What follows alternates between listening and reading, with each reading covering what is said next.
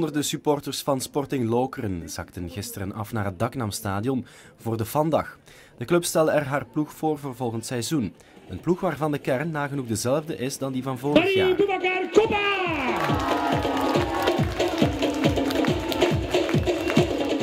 De fans beseffen dat vorig seizoen uitmuntend was en beter doen moeilijk wordt.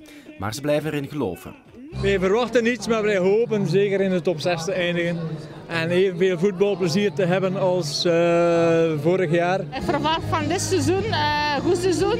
Misschien uh, op hoog voor terug de beker, maar dat zal niet waar zijn. En onze Europese campagne ook is schoonheid eigenlijk ja, zo ver mogelijk te geraken. Wel, ik hoop dat we hetzelfde mogen bereiken als vorig jaar. Hopelijk een betere start als in het begin van vorig jaar. En de beker, dat moet niet, maar zo Europees terug, ja, dat zou toch wel, uh, dat zou toch wel een leuk zijn terug. Hè? Dat we in de top 6 zijn, liefst een beker van België, maar ja, ik denk dat dat eenmalig is.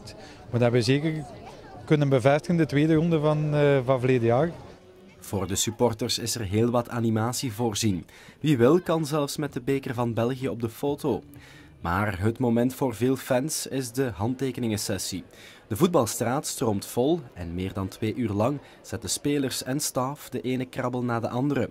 Ook trainer Peter Maas is van de partij. Hij is blij dat de supporters zo talrijk aanwezig zijn. Ja, dat kan je alleen maar toejuichen. Hè? Dus uh, dat betekent dat je het de laatste jaren goed gedaan hebt. En uh, ja, dat is weer een uh, extra motivatie voor volgend jaar hetzelfde te bewerkstelligen. En als we volgend jaar op de vandag dit nog eens kunnen evenaren of zelfs nog eens verdubbelen, ja, dan, dan denk ik dat dat heel mooi is voor Sporting Lokeren. Dat de fans zoveel verwachten van Lokeren vindt hij meer dan normaal. Wij verwachten er zelf ook veel van. Dus we hebben onze spelersgroep kunnen bij elkaar houden. We hopen nog op eh, enkele goede versterkingen. Ja, er moet toch wel concurrentie in die spelersgroep komen. Want die, die, die ploeg vorig jaar die stond, maar die mag wel wat concurrentie verdragen. Om de vandaag af te sluiten speelde Sporting Lokeren een wedstrijd tegen het Al-Shabaab van Michel Prudhomme. Die wedstrijd eindigde op een 2-2 gelijkspel.